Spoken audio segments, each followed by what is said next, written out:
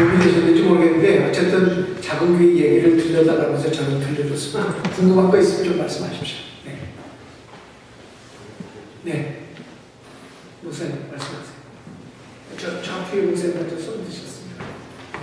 안녕하세요. 예수교회 정영윤 목사입니다. 네. 그 아, 공동으로 교회가 이렇게 여러 교회가 같이 갈 수 있는 철학 중에서 이제 그 가정과 교회 학교 말씀하셨는데 한국에서 많은 교회들이 이제 대한교회, 대한학교를 운동을 굉장히 오래 했다고 봅니다. 어, 제 질문은 이제 원천 친해교회가 가지고 있는 학교에 대한 뭐 물론 아까 목사님 말씀 수원 중앙 초등학교에서 뭐 국정원에 감사 아무튼 그 높은 분도 학교 때문에 옮겨 오셨다 이렇게 말씀하셨는데 그 일반 지금 한국에서 다른 교회들이 가지고 있는 대한학교와 어떻게 다른지 알- 알고 싶고요. 그다음에 지금 이제 사랑교회 같은 경우도 오정현 목사님이 강남 International School에서 지금 서초 고등학교 자체가 아, 인구가 이제 그 다음 세대들이 많이 태어나지 않으니까 신생아들이 학교 학생들 인원이 굉장히 줄었기 때문에 이게 옥한흠 목사님 계실 때부터 뭐 서초 고등학교를 본인이 아, 교회 예산을 구입하려는 야, 야심이 되게 많으셨다고 들었습니다. 그런데 뭐 사실은 그 교회 이제 그 교목으로 제가 할 수 있는 기회가 있었는데 물론 그쪽에서 그게 이제 그 목사님의 개인적인 일로 그게 hold가 돼서 결국은 무산이 된것 같아요. 근데 이제 교회 자체, 쪽에서도 inter, 강남 International School을 한다는 것 자체가 너무 기독교 귀족 학교를 만들어내는 게 아닌가 해서 굉장히 반대도 많았다고 하는데 그것도 결국은 뭐 강남 International School도 사랑의 교회가 또 하려는 지금 가정 교회 학교에서 학교 교육, 그러니까 한국의 지금 스카이 학교이라는 드라마도 대단합니다만은 모든 부모들이 정말 뭐 한국에서 그게 20년 전에도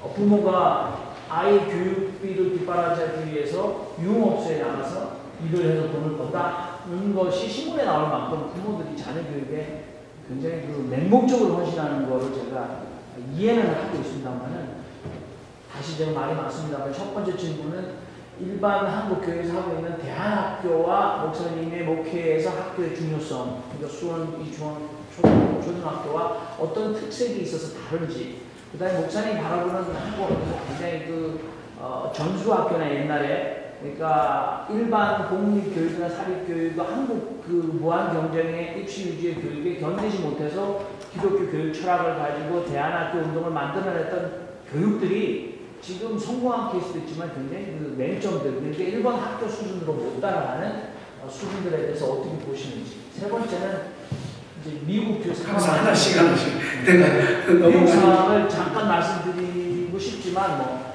제가 이제 그건 제 몫인데 미국은 지금 여기 버겐 카운티 안에도 하롤 고등학교라고 이제 이미 기독교 철학을 하겠다라고 한 분이 계시고 거기 학교로 보내시는 분이 계세요.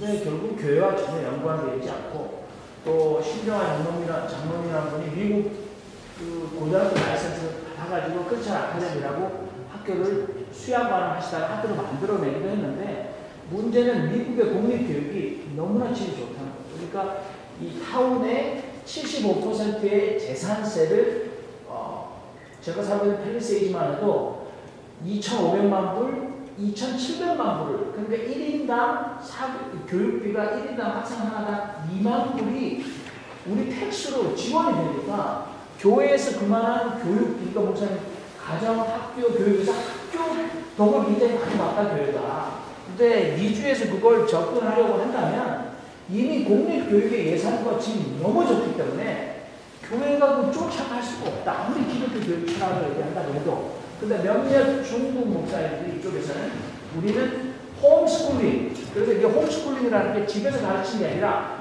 교회에서 우리는. 그래서 한인 목사님들 중에서 지금 에피시 교회라는 같은 교회는 우리가 교재가 전부 다뭐 이 성경 배경이 나오는 교재를 가지고 자율적으로 꾸며서 하는데 그래서 아이들이 책을 보면 전부 다 성경 이야기, 성경 배경으로 뭐 지리 역사를 배운다고 얘기하지만 주일학교 수준에 못 미치거나 돈을 내고 지금 학교 운영하지만 교육의 질이 너무 낮습니다.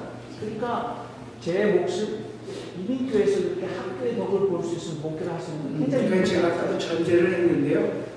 지금 한국에서 이렇게 하고 있다. 제가 그렇게 하라는 얘기가 아니고 늘 권장하는 얘기는 아니고 그다음에 학교와 관련해서는 제가 사실 잘 모릅니다. 왜냐하면 한국의 대안학교들이 꽤 많이 있는데 네, 저희는 어, 대안학교가 아니고 기독교 사- 사립학교로 비, 저, 문교부, 저, 교육부 통제를 받고 있는 학교고요. 네, 그다음 이제 저희는 이제 학교가 특성이 몇 가지가 있습니다. 첫째는 10분의 1은 장애인들을 받습니다. 학생들 10분의 1. 장애인들을 받아서 이 정서 장애를 갖고 있는 아이들하고 건강한 아이들이 받습니다. 장애인들끼리 따로 교육을 하지 않고 그래서 장애우는 건강한 아이들과 함께 사는 법을 배우고 건강한 애들은 이 장애우를 잘 도와서 이 애가 함께 살도록 도와주면서 배우는 이 교육을 저희들은 또 비중을 두고 하고 있기 때문에 일반 학교들하고 좀 차이들이 많이 있습니다. 그래서 저희 학교가 유명해지는 건 몇 가지 이유가 있는데요. 첫째, 어, 영어를 원어민 교사들이 와서 많이 가르치고 있고, 그러니까 애를 좀 영어 교육을 시키고 싶은 그 좀 저는 이제 그 이런 이름 말써 못했는지 모르지만 우리 한국 학부모들에게는 약간 영어 사대주의 사상이 좀 있습니다. 그래서 영어를 어렸을 적부터 교육시키고 싶다는 생각. 그다음에 두 번째는 그 장애 장애우들을 가진 부모들이 우리 애를 이렇게 이 학교에 맡기면은 건강한 아이로 성장하면 그게 좀 좋은 결과들이 많이 나왔어요 지금까지. 그래서 그, 그 희망. 그다음에 세 번째로는 정말 우리 애를 성경적인 애를 좀 키우고 싶다는 이 믿음을 가진 부모들이 굉장히 많아요. 그래서 어, 그 홈스쿨링을 하던 사람들 중에도 우리 학교로 오는 사람들이 있고 그래서 우리는 이 세 가지 철학을 가지고 하기 때문에 일반 대학교들하고 단순 비교하기는 어렵습니다. 그리고 이제 어, 뭐 저기 그 오영희 목사님 그렇게 하신 걸잘 모르고 그리고 이 학교에 관한 질문을 제가 질문 받아가지고 답을 드릴 수가 없어요. 목회자니까. 그러면 학교는 다음에 김효세 목사님 오면 그분한테 좀 들어보죠. 대답이 되셨는지 모르겠는데. 네, 목사님 아까 손 들으셨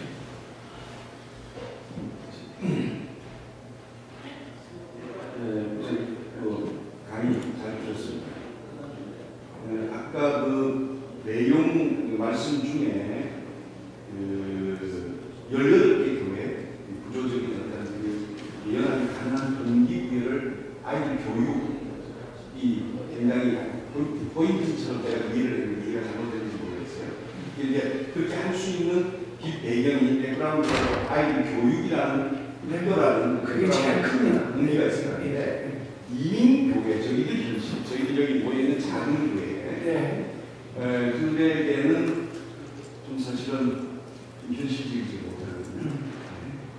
에, 그러면 어, 어, 그 이미 치타오하고 이제 이민 사회를 경험한 목회자로서 네. 좀 던져줄 수 있는 우리의 동기부여가 어떤 것이 있을 수 있을까 하는 것을 좀, 좀 질문드리고 싶고요. 에, 저는 두 개 교회를 한 3년 반, 거의 4년 전에 연합을 경험한 사람이고, 그 전에 또 한 번, 에, 어, 조명대가 그렇게 하지만 연합을 두 번 미국 와서 경험을 해서, 현재까지 뭐, 어, 나름대로 잘 마무리를 지었습니다. 네. 잘 지어서, 좀 어떻게 드릴지 몰라도, 하여튼 제가 계속 한임 목사를 할 수 있는 되어짐으로써, 저에게는 목표적 기회가 좀 나아져서, 예, 좋은 기회가 왔는데 어, 두 번째 질문입니다. 어, 실제로 연합을 하고 살아보니까 굉장히 많은 문제가 생겼다. 네. 정말로 말할 수 없는 숫자 얼마 안 돼요. 부부 간에도 정말 그 때는 죄송합니다 표현이 때려 때도 있거든요. 내 스스로 좀 해주고 싶을 때가 얼마나 많은데 근데 전혀 길이 다르고 백그라운드가 다르고 교단도 다르고 이 신학도 다른 이 둘이 같이 살아보니까 교인과 관련된 너무나도 많은 문제들이 기질이나 성품이나 성향이나 뭐 말할 수 없는 네. 어, 이상적인 거하고 현실하고 너무 차이가 있다는 거죠. 음. 근데 그런 얘기를 좀 한번 좀 있으면 좀 들려주셨으면 어떻게 떠본 그, 그, 그 과정들이 개선이 되지 않을까 하는 두 번째고 어, 세 번째 질문 드리기 죄송합니다. 지금 아까 그한네 개 교회, 다섯 개 교회가 좋다는 것은 그냥 경험해보니까 그렇죠. 그 황금률처럼 이해해도 되는 말씀인지 아닙니다. 그거는 이제 아까도 제가 말했지만 첫 소두에 말했지만 우리가 지금 그 큰 교회 아니 작은 교회의 이 철학과 이 방식은 원초의 교회가 가지고 있는 특별한 문화와 아, 그리고 특별한 상황을 염두에 두고 들으셔야 된다라고 제가 누누이 말씀드렸습니다. 이것을 일반화시켜서 접목하려고 하면 많은 혼란이 올 겁니다. 이렇게 해서 절대 안 되고요. 다만 이런 특별한 문화 속에서 어떻게 그렇게 큰 변의 작은 교회로 유지가 될 수 있는가 그것을 묶어주는 어, 그 16개를 하나로 묶어주는 그 정신적 가치 또는 교회 에, 철학적 가치 이게 뭔가를 제가 말씀드린 거거든요. 그러니까 그거는 제가 볼 때 아까도 말씀드렸죠. 부부간에도 되는 게 어려운데 어떻게 교회를 둘이 연합해가지고 한 교회 형태로 연합시켜서 운영하는가 저는 굉장히 쉽지 않다고 생각을 합니다.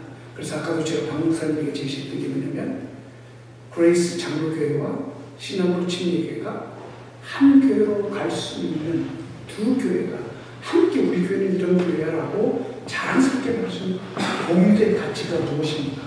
제가 그걸 여쭤보거든요. 그것은 처음 필요는 뭐 재정적인 문제로 연합할 수도 있고 장소 때문에 연합할 수도 있고 사람을 사용하는 인사 문제 때문에 연합할 수도 있고 행정의 편의를 위해서 연합할 수도 있는데 그것만이 원인이 돼서 하게 된다면 그것이 조금 충족되면 또 다른 문제가 생길 것 같습니다. 그것을 넘어설 수 있는 공유된 가치가 뭘까를 연합된 목사님들끼리 고민하면서 찾으셔야 되는 거예요. 어, 제가 그 얘기를 드리고 싶습니다. 그래서 아까 제가 박 목사님한테 그러지 않았는데 박 목사님 그 교회 장로교와 친일과 지금 연합해서 얘기를 들었는데 이 두 교회 이렇게 연합돼서 있는 그 공유된 가치가 뭡니까? 그건 찾아내셔야 될 것 같습니다. 저희는 아까 그 얘기를 말씀드린 여섯 가지를 말씀드렸고 저는 답을 주러 온게 아니에요. 그냥 이런 교회도 있다라고 얘기해달라고 해서 제가 이게 좀 어려웠던 다만 사- 제가- 어려웠던 사례를 좀 확보한 사례라도 하나 있으시면 좀 어려웠던 어려웠던 점을 구체적으로 사례를 좀이 경험을 말씀해 주시면 좀 도움이 되지 않을까. 글쎄 뭐 저희들은 뭐 이렇게 그다지 큰 어려움이 없습니다. 왜냐면 학교에 자녀들을 보내는 학부모가 같은 부모고 그 사람들은 우리 교인이고 그 사람들이 또 그런 철학을 좋아해서 왔던 사람들이 그래서 큰 저희들은 어려움은 없습니다. 다만 저는 장로교 목사로서 침례교회 안에서 여러 가지 일하는 데는 조금 어려움이 있어요. 제가 있어요. 신수비 사례나 생활비에 대한 어, 목회자들의 그 우리 생활비는요. 네. 교사들이 받는 어, 공무원 호봉제로 합니다. 동일하게. 제가 제일 많이 받습니다. 제가 김여수 목사보다 많이 받습니다. 이유는 65세예요, 제가. 금년. 제가 호봉이 40호봉입니다. 아, 괜찮죠? 그 여기는 토를 달을 수가 없어요. 경력이 몇 년이냐에 따라서 결정되는 거니까. 네? 아, 그거는 비밀입니다. 어, 근데 저는 이제 금년 65세로 사실 은퇴할 예정이죠. 이 70세가 은퇴 예정인데, 친구는 저는 좀 조기 은퇴를 할 생각을 가지고 있었는데, 네, 갑자기 5교회를 다니던 목사님이 교회를 사임을 해가지고 그 5교회를 제가 떠맡았어요. 두 교회를 지금 제가 하고 있습니다. 근데 두 교회를 맡은 입장에서 어, 갑자기 은퇴를 하겠다고 지금 할 수가 없어요. 목사님들의 교단적인 배경은 다 다르습니까? 다 다릅니다. 근데 대부분 다 침례교회고요. 13명 목사님 중에 3명만 장로교에서 10명은 다 목사예요. 네. 네. 그 답이 다 되셨는지 모르겠습니다. 예.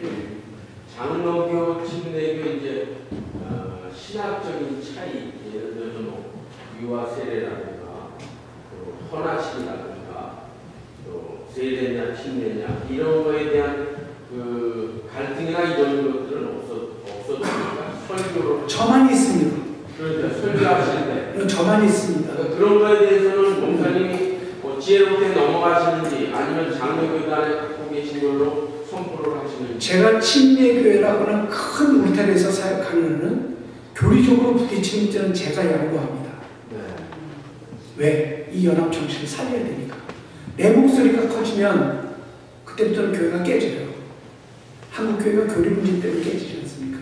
예를 들면 제가 한 번은 뭘 모르고 어, 추도식 예배를 인도하는데 다 같이 사도신경으로 우리 신앙 고백 시작하고 예배 시작합시다 하더니 끝나고 침례교인이 한 거지. 목사님, 우리 침례교인들은 사도신경이 성경적이 아니라고 믿고 있습니다. 왜 사도신경을 하십니까? 나 그때 처음 알았어요. 침례교회가 사도신경을 그때 처음 알았습니다. 네, 그래서 제가 그 당혹스럽잖아요. 아, 그렇습니까?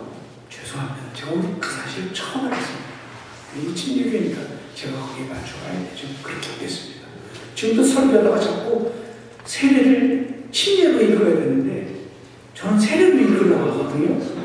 그때마다 제가 저는 침례를 세례로 근데 어저께 세례로 읽으시더라고요. 네. 그러니까 어, 우리만 아니니까. 어 그래서. 아 그래서 목사님 상당히 그 뭐야 이 flexibility가 있다 유연성이다 되겠다 내가 그런 생각했어요.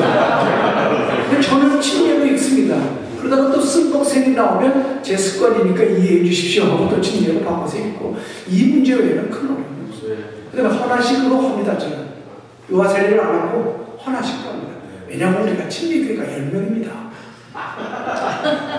근데 그거 양보한다고 무슨 설날하게 그거 말고 이 핵심같이 와서까지 이게 그거부터 넘어서는 거예요. 그러니까 그거를 제가 어떤 사람은 목사님 목사님 장로교 목사로서 침례교에서 일하는데 여러 가지 어려움이 많을 텐데 그런 걸 어떻게 극복하십니까? 그래요.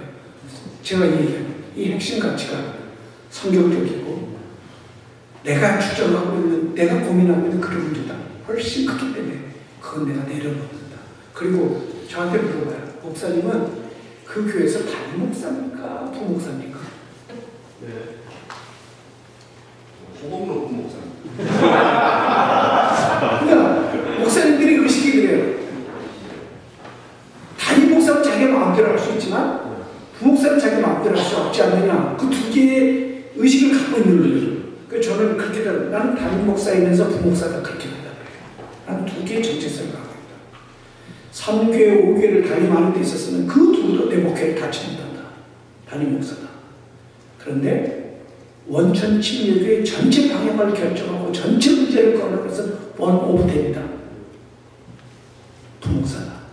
내 목소리를 내면 안 된다. 맞춰줘야 된다.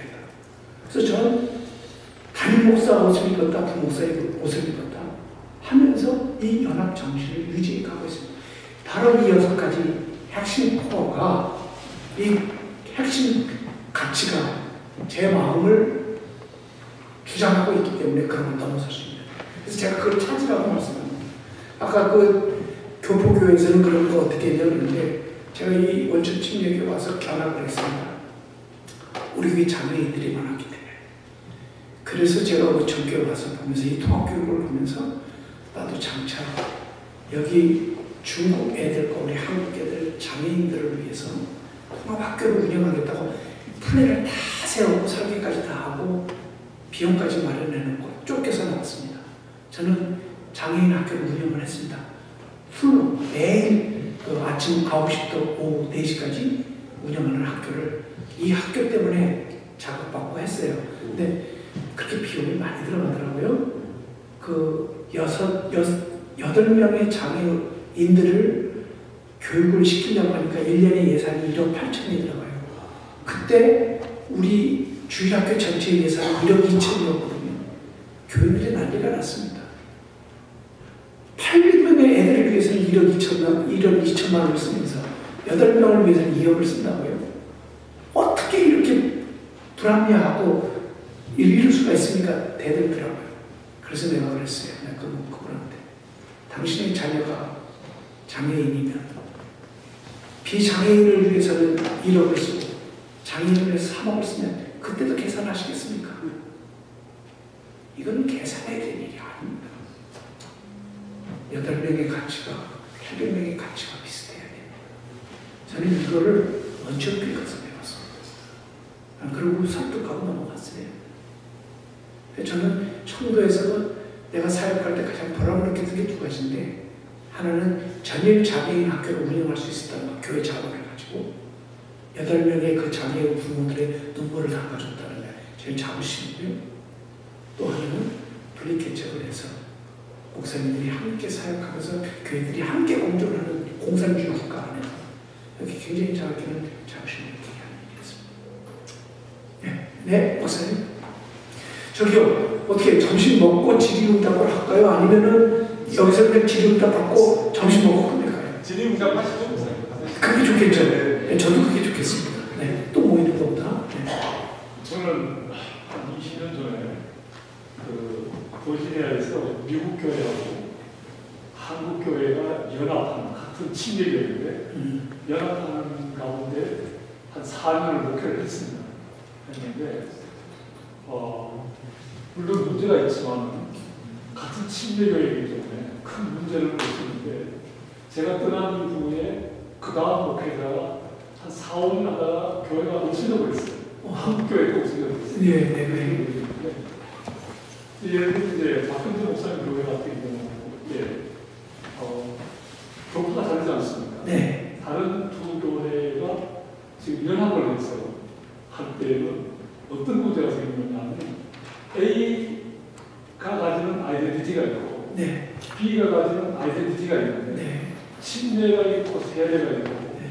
사도신경이 있고 사도신경이 없고 등등 이렇게 된다고 하면은 그 연합 가운데 어, 공통된 아이덴티티를 찾기가 쉽지 않습니다. 교리적인 건 그렇죠. 그렇죠. 네, 근데 교회든지 어떤 그 집단이든지 아이덴티티가 확립이 됐을 때 결속이 될 수 있고 결속이 될 때 사업 추진에 박차를 가할 수 있는데 이런 경우는 결속의 문제가 있고 사업을 추진하는데도 문제가 있다는 거죠. 그런데 목사님의 경험에서 그러한 것을 경험하셨을 때 어떻게 대처하시는가? 네, 근데 제가 이쪽 상황을 모르니까 이쪽 교육 대상을 모르니까 제가 거기에 대해서 말하는 건 굉장히 아, 이렇게 상황이 맞지 않은 것 같습니다. 네, 저는 그건 여러분들이 찾아내셔야 됩니다. 음, 죄송합니다. 주 서류를 다 보겠습니다. 지금 한, 한 목사님 오셨나요? 네, 오셨어요. 한 목사님. 네. 어제 한 목사님 사회 보시고 설교를 하고 네. 지금 현재 그런 어려운 점은 없으신가요? 네, 그런 건 어떻게 극복 하시는지 좀 학생들한테 직접 들어보시는 게 좋을 것 같아요. 아직까지 뭐 6개월이라서요. 이런 거에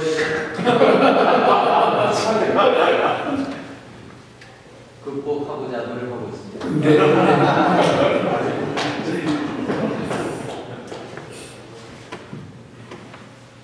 목사 질문 네.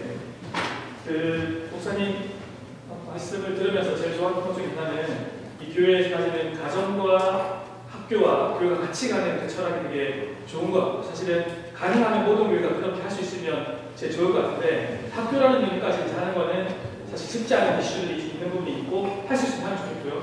그런데 일단은 가정과 교회가 같이 가는 건 상당히 중요한 철학인데 가정이 함께 가는 그래서 이제 다음세가 세워가는 그 부분에서 가정을 중심으로 하는 어떤 목회 철학을 어떻게 구현하고 있는지 구체적으로 좀더좀 몇 개씩 말씀해 주시면 좋겠고 또 하나는 G2G 다음 세대 사역을 연예대교 교회가 어떻게 연합으로 구성해서 하는 게 있는지 아니면 따로 하는지 또 시간이 다 다른데 어떻게 조직화시키는지 좋은 질문이네. 기다렸던 질문이에요. 그러니까 그 궁금한 건 이제 그럴 거 하시겠지. 첫째는 우리가 가정과 교회가 함께 가야 된다고 하는 것을 다 공감해요. 근데 저는 그게 우리 교회 문화 속에서는 쉬운 이유가 학교가 있기 때문에 그게 더 가능하거든요. 학교에 필요에 의해서 왔던 부모들이 그분들이 다 교인들이란 말이에요. 그러니까 학교의 방침은 곧 교회의 방침이고 그 교회 방침이 곧 가정의 방침으로 연결돼서 개연성이 이- 있지 않습니까? 다만 이 학교를 딱 떼고 교회와 학교를 함께 가는 어, 아니 교회와 가정이 함께 가는 구도로 만들어가는 이제 떼놓고 좀 얘기를 하겠습니다.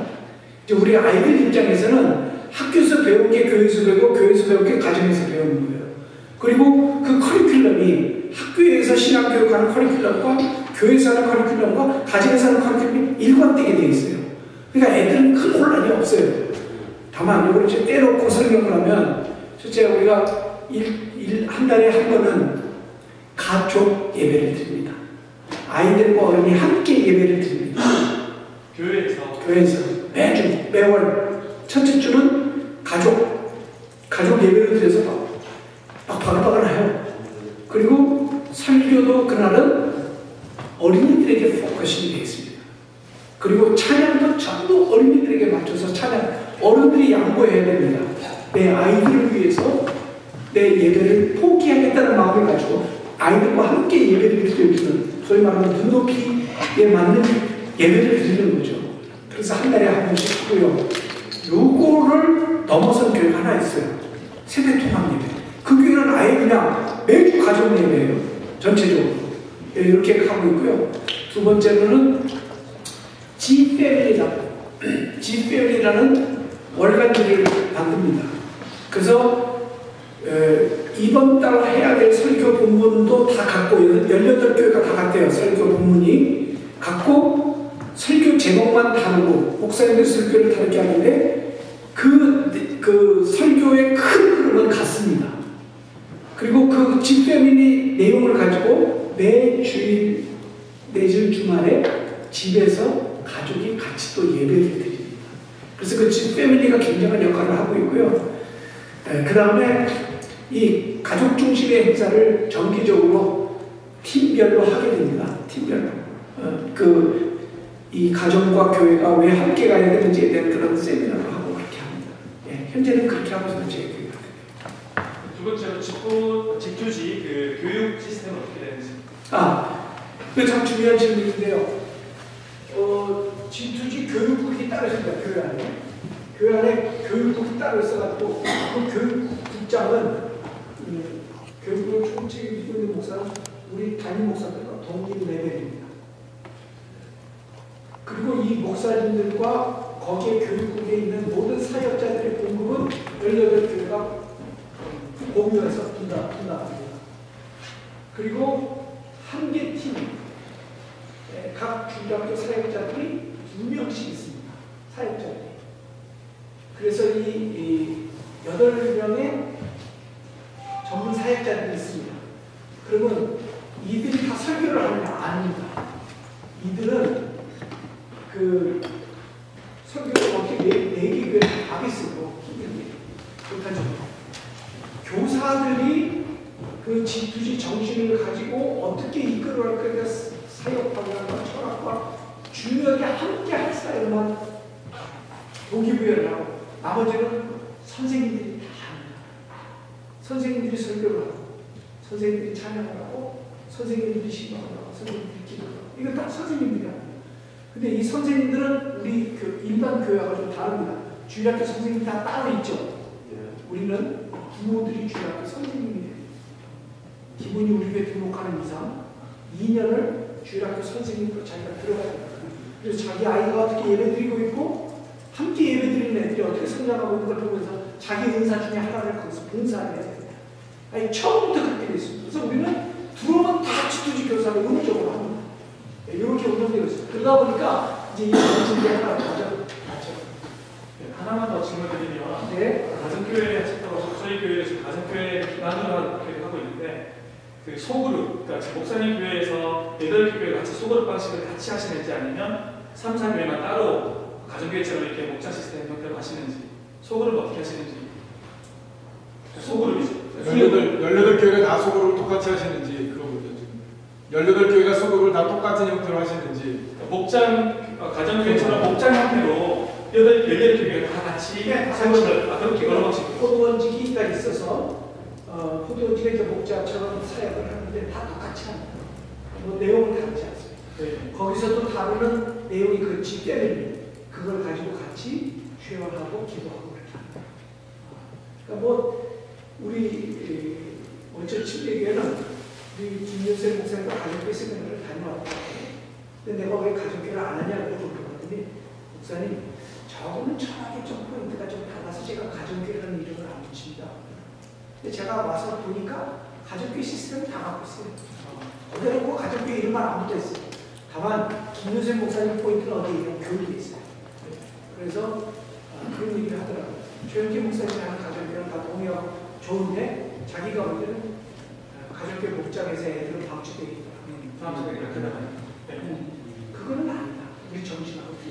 그래서 이분은 목장도 다 그 아이들에게 꽂혀 있는 그런 시스템으로 가고 이렇게 만들고 있습니다. 그래서 그런 차이가 있어요. 네.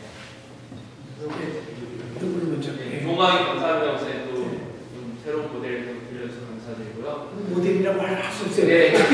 상황에서 나오니까. 그 네. 이야기 들으면서 사실 많이 좋은 걸 느꼈지만 한편으로는 괴리감도 좀 많이 느꼈거든요. 네, 네, 네. 예, 그 그렇죠. 어떤 대형 교회와 어떤 시스템 안에서 이루어질 수 있는 학교랑 시스템이 생성이 돼야지만 네. 그렇죠. 할수 있는 거라는 생각이 맞습니다, 맞습니다. 네. 사실 저희한테 적용하기는 좀 어려운 점이 있다는 생각을 가졌고요. 한 가지는 이제 그 교육하는 문제를 하려는데 말씀하셨으니까 두 번째 한 가지 여쭤볼 거는 그러면 그 원천 교회가 어, 우리 아이들 교육을 하고 교회 자체적으로는 굉장히 활성화되고 좋은 시스템을 갖고 있지만 혹시 지역사회나 아웃리치를 위해서 교회가 감당하는 부분에 대한 어떤 설명을 가지고 혹시 교회가 적용을 하고 있는지 그리고 그런 것들 때문에 또 혹시 그 시스템 안에 못 들어오면 또 다른 분들의 어떤 비판의 소리가 있을 수 있잖아요. 그럴 때는 어떻게 또 대응하시는지 한번 여쭤볼게요. 어, 그러니까 그 우리 원천 준비교회 지역사회에 어떻게 참여하고 있고, 네. 그 다음에 그렇게 우리 내부적으로는 좋은데 혹시 그게 개토화가 돼서 외부적으로 네. 개토화하는 거 아닌가 네. 그 얘기죠. 그 부분이 있습니다. 가정교육도 상- 상당히 어, 외연화가 되어 있는 것 같지만 아니죠. 가정교육 안에 결속이 워낙 때문에 외부에서 볼 때는 하나의 개토로 볼 수가 있습니다. 그것처럼 저희 교회도 내부적으로는 그런 게 있는데 사회적으로는 조금 비판받는 부분이 있어요. 그게 뭐냐면 저 학교는 어, 귀족들이 보내는 학교인데 사실 귀족 아니거든요. 학비로 보면은 그리고 우리 아들 보면은 귀족은 아니고 대신 중산층 정도로 봐- 봐야 되죠. 그러니까 이제 조금 경제적으로 어려운 사람들에게는 좀 가고 싶은데 돈이 안 돼서 그러니까 좀 선방의 대상에서 동시에 그리고 사회적 참여 하느냐 저희가 교육 하나로만 꽂혀 있습니다. 아이들 교육 거기에 그렇게 많이 하지 말자. 선교도 선교사가 무슨 이런 선교 저런 선교 안 합니다. 우리는 선교사들 어떤 사람들이 학교 교사들을 어, 안식년 때마다 그 국제학교 해외 있는 국제학교에 선교사가 파송사가 대신 가서 MK를 사용해요. 그래서 저희 선교사도 선교도 해외 선교도 완전히 그 MK 교육에 꽂혀 있는 그 교육 선교를 주고 있습니다. 다른 부분은 아마 감수해야 돼요. 근데 여기에 네, 아, 그 목사님 감사합니다. 아, 그럼 이제 현재 23년이 지났잖아요. 네. 그리고 이제 교육에 포커스를 두어서 지금까지 이렇게 역사가 흘러가는데 그런 교육이 지금의 지금의 관점에서 결과론적으로 한번 보자면 과연 그 교육들이 어떻게 열매를 맺어서 지금 그 사회에 어떤 좋은 영향을 끼치고 있는지 왜냐하면 이제 교회가 사실은 사회에 영향을 주고 그래야 되는데 그런 포커스를 갖고 시작된 23년의 역사가 오늘 관점에서 딱 결과론적으로 한번 점검을 해본다면 어떤 결과들이 지금까지 이렇게 또 보여주고 저희 그거를 뭐 제가 어, 단순하게 설명할 수는 없지만 이거는 제가 말씀드릴 수 있어요. 한국의 교육의 크기 기하고 네. 교육계를 뒤집어 그 구체적으로 그런 주변에 공립학교들이 너무 좋아지고 있어요. 네. 공립학교들이 좋아지고 quality가 훨씬 좋아졌어요. 공립학교. 우리 학교 경쟁을 하다 보니까 공립학교들이 좋아져요. 그다음부터 어떻게 되냐면 우리 학교에 대한 진입하는 학생들의 숫자가 줄고 있어요. 네. 저희는 조, 족하게 생각했어요. 우리가 부족하게 뭔가 자성도 하지만 주변에 있는 학교들이 같이 있게. 그리고 교류를 같이 해야 공립학교 같이 컨텐츠도 같이 그래요. 그래서 저희들이 예배당이 필요하다니까 바로 옆에 있는 공립학교가 빌려 쓰세요. 그래가지고 1년에 1억씩 주고 여섯 개 교회가 그거 빌려서 쓰기도 해요. 그랬어요. 근데 교장이 전에 안 했는데 네, 그렇지만 어, 뭐, 그, 그 학교들이 갖고 있던 수영장 같은 거 같이 공부하고 그런 걸 같이 해서 학교가 그렇게 비판받는 일은 많지 않은 것 같아요. 그 면에서는 수원시나 경기도 내에서는 일단 부모들이면 조금 가고 싶은 학교가 자꾸 선망의 대상이 되고 있다는 것은 믿는 사람은 아닙니다. 다만 우려되는 건 뭐냐면 제가 처, 처음 들어갔을 때가 2013년이니까 2013년까지만 해도 우리 학교에 역할을 하는 부모들이 30%가 불신자였어요. 지금은 한 10%, 불신자들 전부 있고 기독교인들이 많이 와서 그건 조금 아쉬워. 네. 예, 저는 장애인 선교를 하고 있는 사람으로서 아, 네. 어떻게 예, 네, 네. 예, 어떻게 교회가 음. 그 장애인 10% 받으려고 정말 그 획기적인 건데 그렇게 했는지 조언이가 김기 사모님. 김기 사모님은 그 김유수 목사님 어머니시죠. 오늘 김영호 목사님과 결혼하고 들어오시면 하고 싶은 분이 두 가지 있어요. 유치원 아이들 교육과 그 다음에 장애인들. 그것 때문에 시작이 됐어요. 그 정신을 그대로 담아내고. 네, 정말 우리 그 우리 학교의 강점이에요. 장애인들이 다 나죠. 애들도 장애인들에 대한 태도가 다. 그래서 이제는 장애인들은 서로 둘러하고 경쟁률이 4대 1대 그건 좀 많아요. 그래서 이 학교에 입학시키려고 장애인 자녀를 입학시키려고 하다가 경쟁률이 워낙 심했다 이게 그 추첨으로 되거든요. 추첨 떨어지면 떨어지는 분들 많아요. 상처가. 자녀 때문에 왔는데. 근데 그거 다 받을 수는 없죠. 왜냐면 한 학교에 학생이 13명인데 13명 중에 한 명은 장애인으로 되어 있거든요. 그럼 여기는 교사가 둘이 들어가요. 특수교사 하나고 일반 교사. 그 이거부터 장난이 아니죠. 근데 이거를 다 사실은 학교에서 장학금으로 거의. 장애인. 그러니까 건강한 애들이 이 장애인들을 위해서 헌금을 해주고 있는 거고 또 교회가 의자라고 하고 있는 것까지 통합적으로 그 다음에 MK 선교사 자녀들 안식년으로는 MK 선교사 자녀들 학교 면제예요. 그러니까 이 교회는 학교는 남는 건 없어요. 그래서 수익 사업을 해야 됩니다, 사실. 근데 어, 이제 그런 거를 좀 교회에서 좀 두 가지. 이 학교는 MK들에게는 크게 열려있는 학교, 장애인들에게 열려있는 학교, 뭐 일반 학교가 조금 다른 기독교 사립 학교라고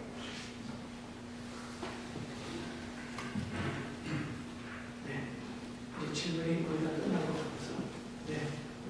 그 어른들을 그렇게 한방에서 이제 예배를 드리는데 어떤 일교에 소속된 어, 청소년이나 어, 유치부 유년도 일교회 자체 내에서 해결을 합니까? 아니면 걔네들도 따로 어, 18교회마다 통합을 합니까?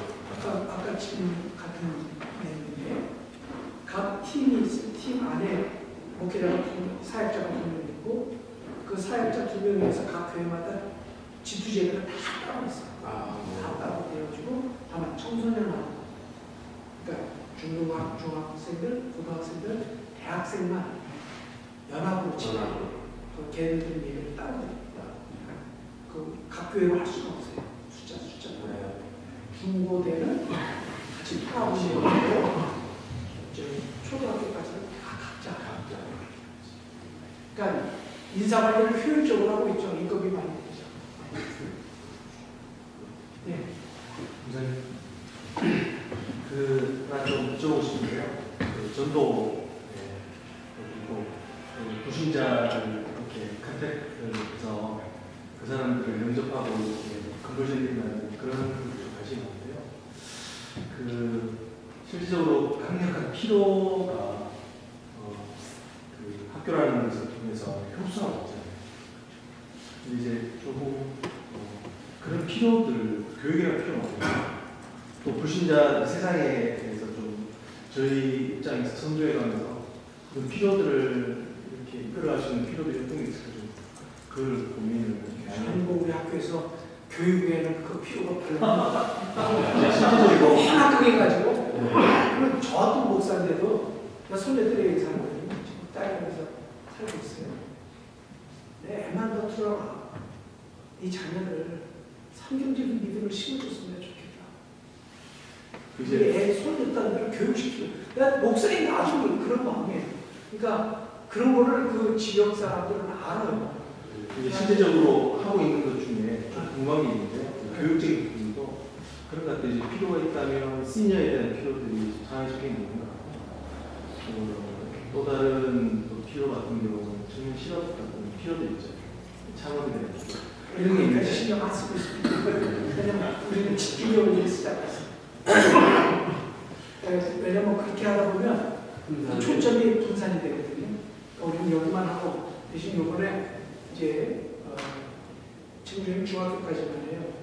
그 이유가 뭐냐면은 네, 고등학교 때부터는 이제 소위 세상 기- 경쟁력 있는 대학들 들어가는 게 그 학교 레벨을 결정하잖아요.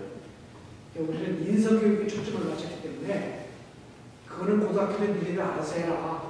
우리 중학교 때까지만 인성 편성이 거의 다 되니까 중학교 때까지만 우리는 성경적으로 하겠다. 고등학교 여러분들이 알아서 가십시오 이렇게 되거든요. 그래서 이제 지금까지는 그렇게 해왔는데 네, 그 고등학교 필요를 너무 강하게 지금 느껴가지고 부모들이 대부분 고등학교 때는 다 교회를 옮겨요. 음, 그것도 학교 찾아서 근데 좀 비슷한 현상들이 제가 보기에 미주 안에 있는데요. 어떤 게 있냐면 그 주의식 그 여기는 커뮤니티 센터가 잘 발달되어 있거든요.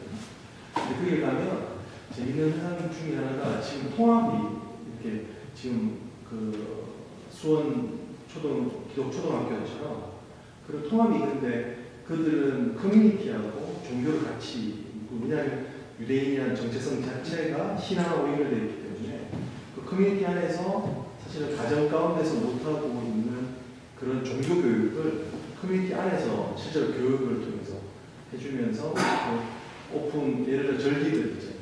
도민전, 유월절 절기들에 그런 그 전체 커뮤니티적으로 같이 하면서 있는데 그럼에도 불구하고 사실은 세속화가 너무 우리 기독교 안에만 있는 게 아니라 지금 유대교 안에도 세속화가 뭐 예를 들어서 랍비가 너무 이런 그런 세속화들이 너무너무 많이 생기고 그 수위가 교육을 넘어서. 그런 데 대한 좀 나름대로의 뭐 교육 파트 안에서도 사실 지금 말씀하셨던 건 불신자는 줄고 그리고 세속화에 대한 어떤 저항력 키워주는 교육보다는 사실은 교회 안에서의 교육과 복음이 교회 안에서만 사유화되어지는 방향으로 가고 있잖아요. 네. 그건 뭐 여러 가지 이유가 있었거든요.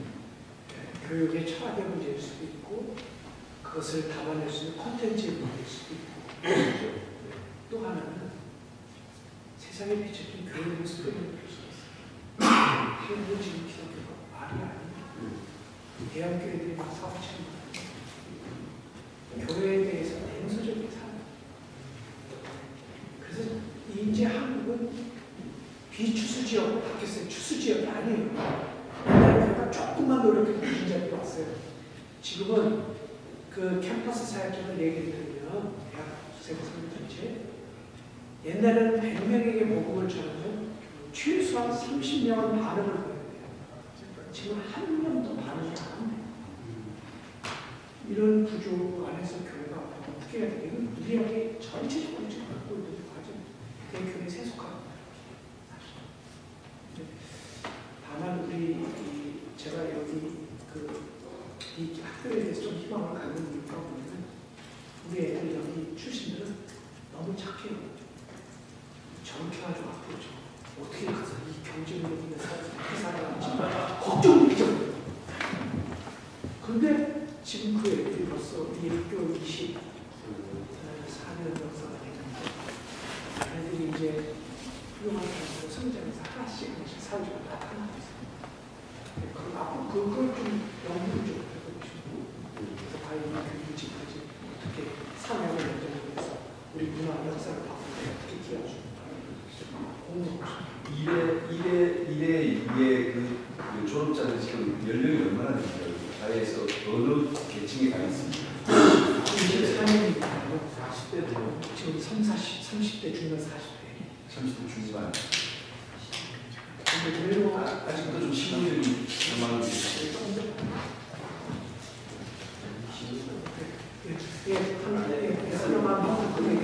저 뒤에서 그 세 번째는 아니고요. 네. 그 이미 질문하신 내용 가운데 대한 답변하신 것에 대한 2차 질문인데요. 네. 아, 아까 가정교회의 어떤 약점으로서 직접 가서 보니까 아이들이 방치되고 어른들 중심으로 수급이, 수급이 이루어지다. 그 부분을 좀 주시고 실망하셨다고 했잖아요. 아니, 내가 한 게 아니라 예, 김세공 사님 예. 예. 그러니까 지금 가정교회 부분을 어떻게 바꿔서 보완해서 해결하셨는지 그게 첫 번째입니다. 두 번째는 이제 가지 환청에서 얘기를 하는 건데 어, 제가 이렇게 국립학교 특수교육 진사거든요. 근데 어, 아까 13명 한 아이가 한 명이 장애인이라고 얘기하셨잖아요. 그 장애인을 집어넣는데 미국 공립학교 기준에 따라서 미국 같은 경우는 이제 정서장애라든가 아니면 집중장애, ADHD 같은 경우에만 지금 중증장애 다른 데를 보내는데 혹시 그 공립학교의 기준을 따르는지 공립학교 기준을 따라서 선거를 하는지 아니면 조금 더 나아가서 씨 집어넣어서 조금 중증장애인도 집어넣는지 봤습니다. 아, 안 받는다고 해 우리 처음부터 아, 그 그렇지 우리 원칙에 아, 있습니다. 유한 미국 공립학교에서 연한 네, 그거는 더 특별한 회사 이렇게 교육을 다르죠. 예, 예.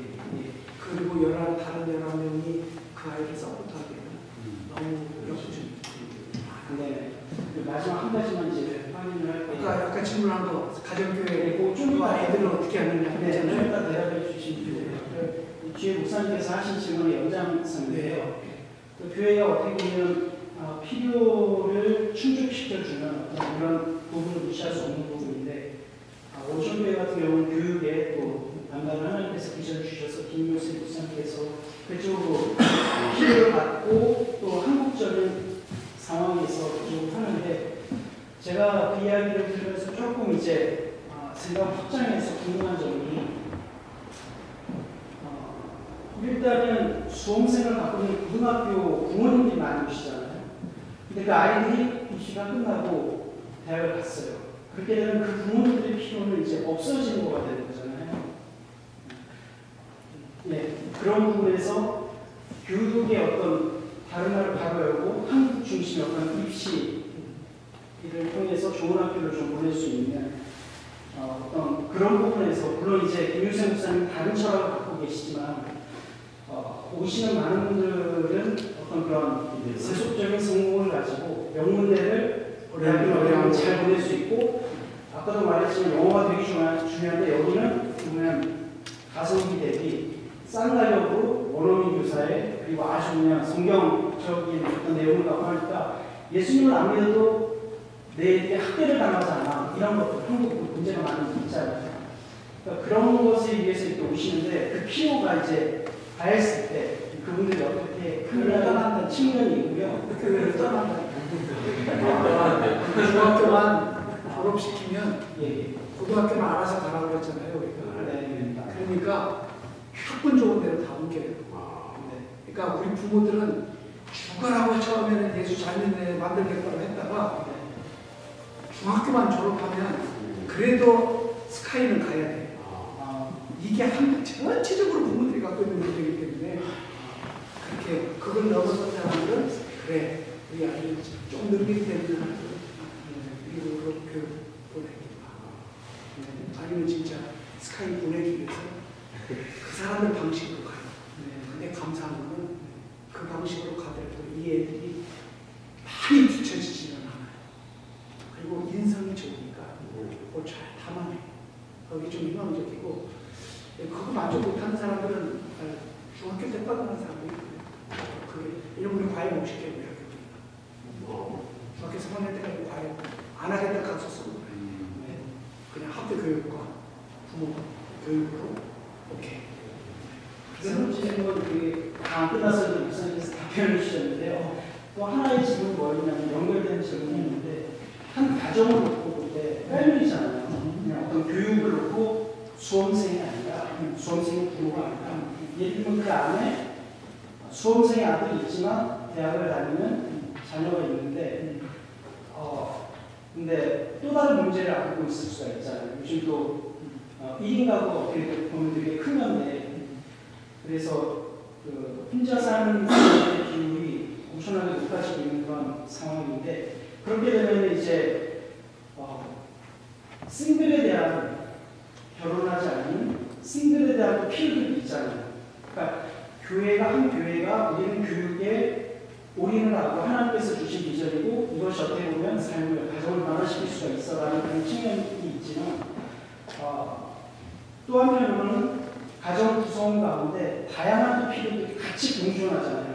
그래서 우리는 이제 입시생을 둔 자녀들 위주로 비교해 나가니까 그러니까 싱글이 너는 너 필요에 따라서 다른 데 가라 이런 식으로 한다 그러면 또 그게 어떻게 보면 금유성 목사님 갖고 있는 철학과 조금 안 맞는 부분이 있게 느껴져요. 근데 그거는 어떻게 하나만 수 있어요. 제가 볼땐 욕심이라고 생각하고 그 부분은 우리 안고 있어요.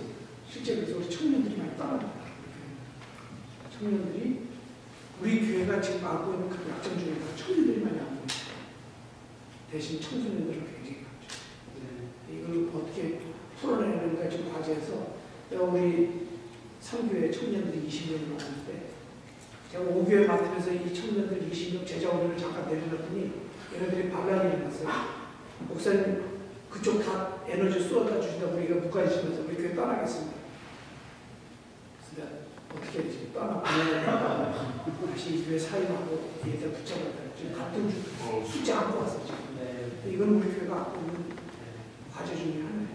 그러니까 어, 우리 교인들 중에 이제 큰 어, 문제 중에 하나가 입시철만 되면 교인들이 움직인다는. 근데 그들이 움직일 때 무슨 얘기를 하냐면 우리는 우리 학- 우리 교회는 이 학교 중심으로 움직이기 때문에 이 교회는 교회는 어떻게 보면 어, 요람에서 무덤까지 함께 가는 교회가 되는데 그게 안 된다. 그래서 불만을 들여놓는 교회들이 적지 않게 그러면 저는 어떻게? 우리 교회가 그렇게 생겨먹었는데 어떡하냐.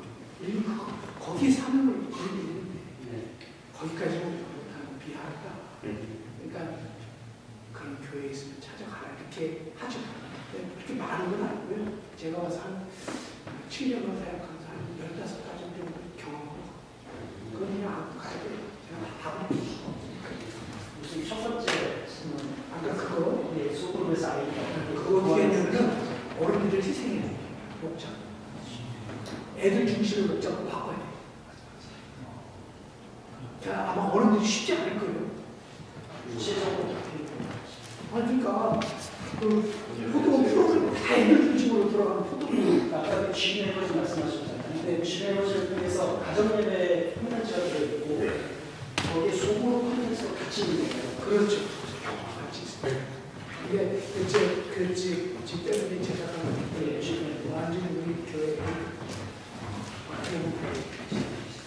네, 여기까지만 하겠습니다.